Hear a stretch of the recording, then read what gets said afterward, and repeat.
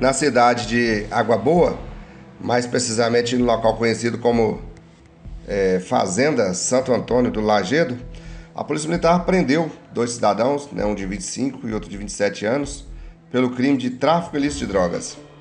A Polícia Militar né, de Água Boa já tinha conhecimento né, de que naquele local estava ocorrendo né, é, a venda né, de, de drogas ilícitas e receberam informação na data de ontem que havia chegado uma grande, uma grande quantidade de drogas né, para aquele local.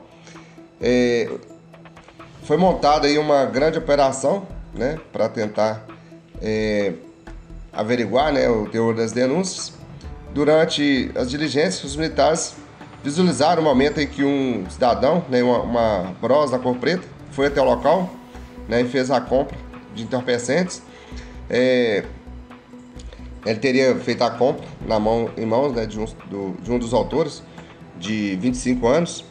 Posteriormente chegou ao local, né, o outro alvo da denúncia, o cidadão de 27 anos. Ele chegou em uma motocicleta, uma Honda CG 150 Titana cor azul.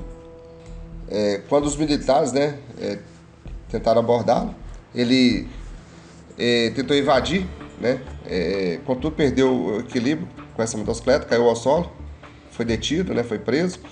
O outro cidadão, né, ele ao perceber a presença policial tentou evadir para uma área de mata, também foi alcançado, né, foi detido. Durante a abordagem ele reagiu, foi necessário o uso de técnicas policiais para contê-lo.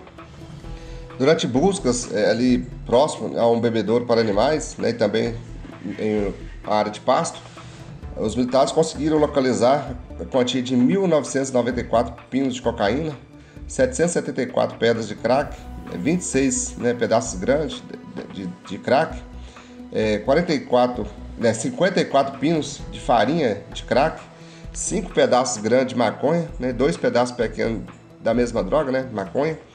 Também com os autores ainda for, foram localizados a quantia de R$ 1.320 é, reais em notas diversas, né?